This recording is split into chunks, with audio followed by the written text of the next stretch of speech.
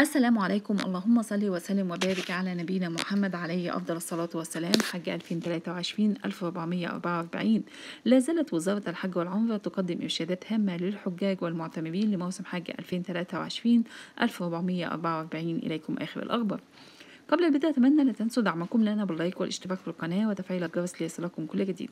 لو بتشوفوا القناة لأول مرة أتمنى عمل جولة سريعة على محتوى القناة بإذن الله ستنال إعجابكم. كل عام والأمة الإسلامية بخير نشرنا تباعا ما يتعلق بحج 2023 ولا زالت وزارة الحج والعمرة تقدم إرشادات هامة لحجاج 2023 وأيضا للذين يؤدون العمرة. نشرت اليوم عدة منشورات أول منشور معنا بعنوان إرشادات زيارة المسجد النبوي.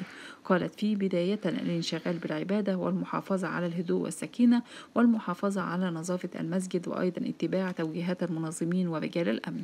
كما نشرت منشور آخر وهو بعنوان زيارة المدينة المنورة قالت لضيوف الرحمن التنقل من مكة إلى المدينة يكون حسب الاتفاق مع شركة الحج مع مراعاة الآتي. بداية الالتزام بنقطة التجمع المحددة الحضور في مواعيد التفويج الالتزام بتوجيهات قائد المجموعة والتأكد من وسيلة التنقل المتفق عليها.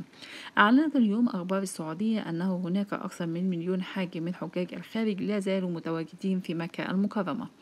أعلن اليوم على بعض المواقع الإخبارية أن أمس الاثنين استقبل ميناء سفاجة البحري أولى رحلات عودة خدمة الحجاج على متن عبارة وعليها 806 ركاب حيث تم رفع درجة الاستعداد القصوى بميناء سفاجة والغردقة لبدء عودة عمالة خدمة الحجاج من خلال رحلات وصول وسفر لعبارتين وتم التنسيق مع مجلس مدينتي سفاجة والغردقة وأيضا إدارة الشرطة والجهات المختصة.